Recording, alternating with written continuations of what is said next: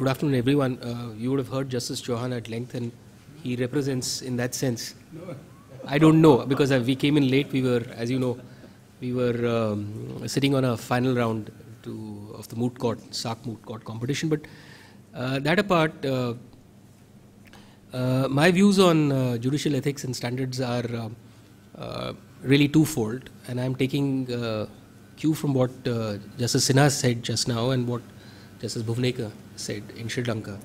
Now they represent uh, two different uh, uh, procedures which are in play. If I heard Justice Sinha correctly, he said that they have a judicial council for even appointment of judges, which comprises of three political nominees and two judicial uh, representatives. Um, I don't know the procedure for appointment of judges over there, but certainly in India there is this huge debate as to what is the best way forward.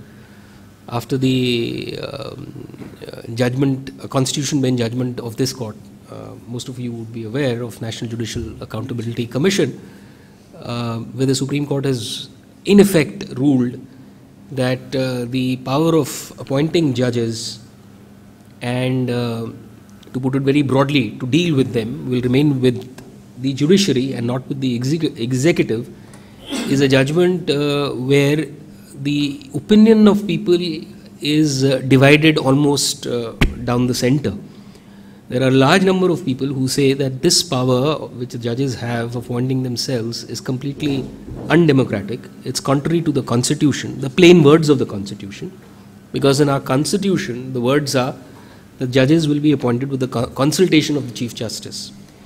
So, years back, series of judgments, those who are aware of the Indian, law, the word consultation was read to mean consent. Now, uh, a lot of people would tell you that every judgment is in a context of the political scenario in a country because uh, judiciary, however much we may say, is not isolated from uh, the political environment in the country. Though, so every judgment is uh, contextual. Given a co- uh, set of facts, uh, whether we like it or not, judges have ideologies, judges have philosophies, and do they do, in a sense, get um, uh, I wouldn't use the expression uh, colored, but at a very um, uh, subtle level, it does influence uh, their decision making. Uh, so, therefore, the jury is still out in India as to what is the best way forward. Uh, there are a large number of people who would say no, it should go out of the judiciary so that there is an element of oversight.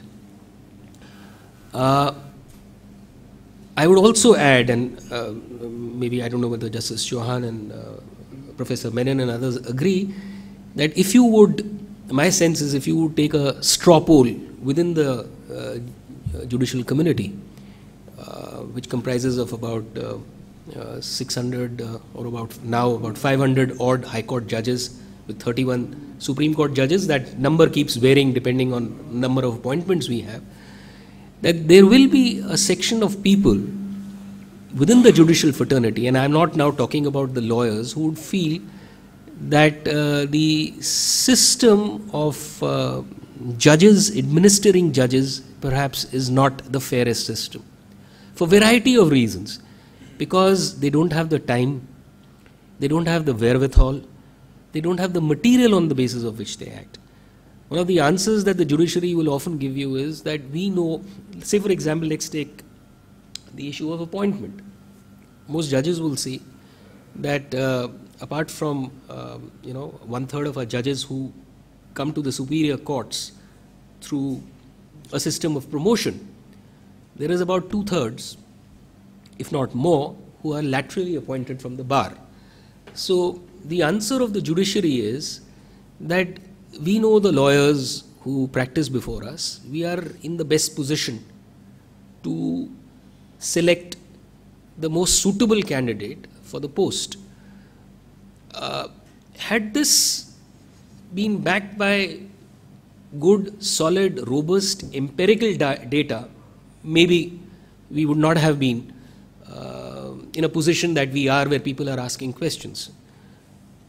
Most of us who are appointees from the bar may have benefited from it, But when you come into the system, you sometimes realize that this is perhaps not the best system. Now, there may be views and uh, counter views, because when you appoint a judge, it's not only his technical skills which the judges see, there are other attributes to a judge which the judges don't see in the courtroom.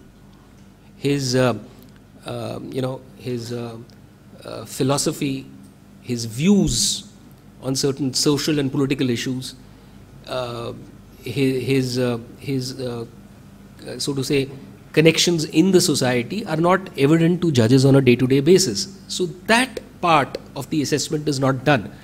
Now that can only happen if there is a robust system of appointment, the people who take a contra view, where uh, it is a mix of the Indian and the American system where people are permitted prior to the stage of appointment to ask questions of a prospective appointee to at least put to the people who are to select these people that you know these are the questions that you need to ask. This so therefore you know if you uh, if you have a judge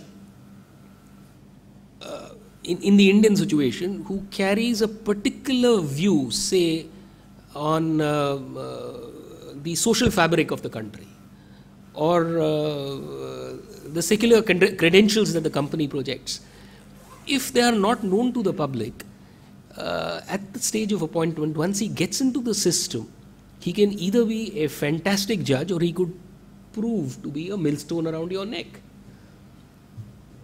Because typically in the Indian system, the judge carries his philosophy uh, silently with him and then he translates it whenever he gets an opportunity in the form of a judgment, which leaves very little choice for the citizenry to you know, react to such kind of a situation.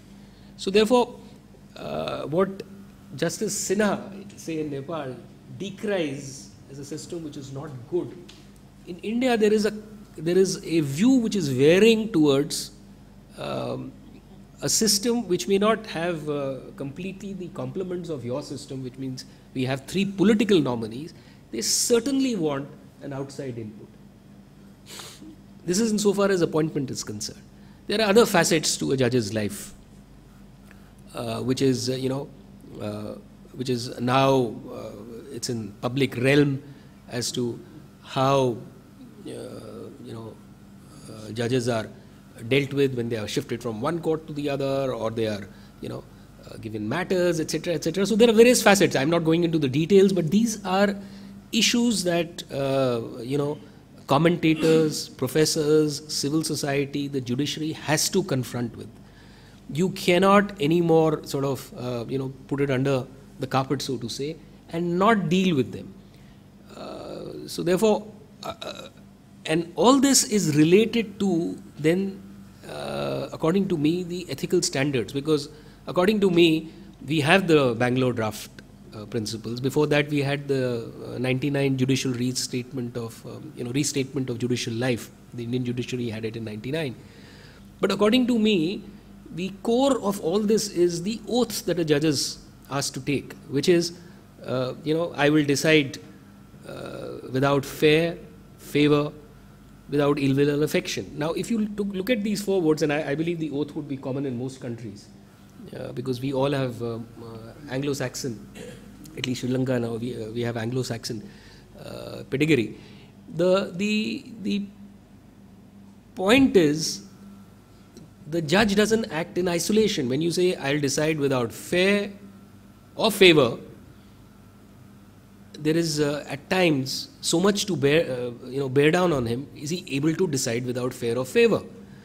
I will decide without ill will or affection goes to other strands of what we call the more elaborated principles of Bangalore law, which is impartiality, independence, integrity, etc., etc. So, according to me, you have to first deal with the problem at the nascent stage. Everything will fall into place if you're, you know, you're imparting the right kind of education in schools and colleges. You have the right kind of crop which is coming up to the bar, and from the bar, when you appoint, you actually expose the applicant to all kinds of uh, facets of his life so that when he comes in, there is nothing that he can be actually pressured into or blackmailed into. And thereafter, of course, you must have a robust, robust system where you protect them. Because if you, as uh, Justice Bhuvane said, that, you know, uh, if you uh, make someone accountable to enforce a judicial conduct, but should there not be oversight over those who enforce that? It is not unknown that there are biases in people which they carry from their days when they were uh, colleagues of certain people, which are then, uh, you know, sort of uh, transmitted when, when they become the enforcers. It's almost like a mother-in-law uh, syndrome. now it has improved. Nowadays in our society, they are good friends. Not uh, no, mother-in-laws have turned good, but I don't know whether. huh? Sorry. There was an objection to this term also. They say why mother-in-law? The gender bias. Gender. I, I, I completely confess. I completely confess. I completely confess to using uh, the wrong word. We must say in-laws In-laws. syndrome. We must say in-laws syndrome. Uh, Justice Tripathi is completely right. But the point is, you can't keep wishing these things away, and there has to be oversight. You cannot say you can't have oversight. There are certain set of people who are enforcers, and no one will question them. They will just go unanswered. There are a lot of these questions, and I think you need, people need to discuss them. Yeah, thank you.